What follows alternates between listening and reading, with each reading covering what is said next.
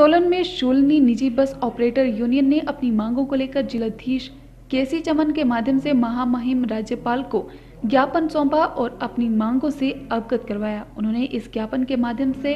मांग की है कि वे घाटे में अपनी बसों को नहीं चलाएँगे। उन्होंने कहा कि प्रदेश सरकार ने ये आदेश तो दे दिए हैं कि 60 प्रतिशत पर निजी बस चालक बसों को चलाएँगे और पुराना किराया ही वसूलेंगे, लेकिन उनका खर्चा कैसे पूरा होगा, इस बारे में एक पल के लिए भी नहीं सोचा। उन्होंने कहा कि जब बाहरी राज्यों में बसें जानी थी तो निजी बस चालकों ने जान हथेली पर रखकर प्रदेश सरकार का साथ दिया और हर आदेश को माना, लेकिन अब प्रदेश सरकार उनकी बात नहीं मान रही है, जिसकी वजह से आम जनता बेहद परेशान हो रही है।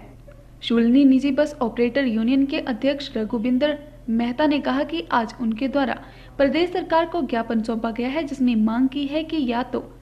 बसों का किराया बढ़ाए या फिर 60 प्रतिशत वाली शर्त को हटा लें या 40 प्रतिशत की सब्सिडी दी जाए। उन्होंने कहा कि सरकार की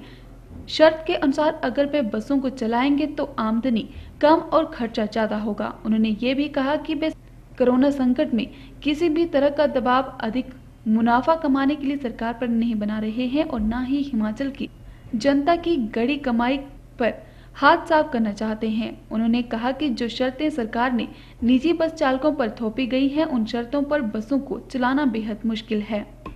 आज आ, सोलन में आ, निजी बस ऑपरेटर संघ की एक आपात बैठक हुई और उसमें हमने जिलाधीश सोलन के माध्यम से प्रदेश सरकार के मुख्यमंत्री परिवहन मंत्री सेक्रेटरी ट्रांसपोर्ट और कमिश्नर ट्रांसपोर्ट को अपनी मांगों का एक ज्ञापन उन्हें आज दिया है। जिलाधीश महोदय से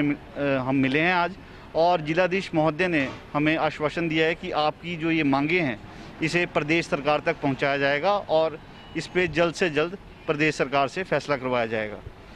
उसमें हमारी मुख्य जो मांगे थी कि इस समय जो प्रदेश सरकार ने हमें 60 परसेंट ऑक्यूपेंसी पे चलने के लिए कहा है,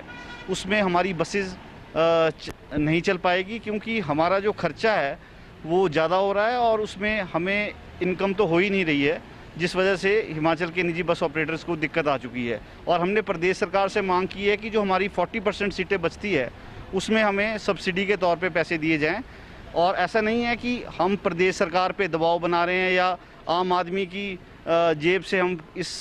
संकट काल में हम उनसे, उनके पैसे ज़्यादा खर्च करवाने के चक्कर में लेकिन हमारी जो बसेज़ है, उसमें खर्चा इतना हो रहा है कि खर्चा एक रुपये और पच्चीस पैसे की आमदनी है तो हम लगातार अपनी जेब से पैसे खर्च करके निजी बसेस को कैसे चला सकते हैं? सबसे बड़ी दिक्कत ये आ चुकी है इस समय।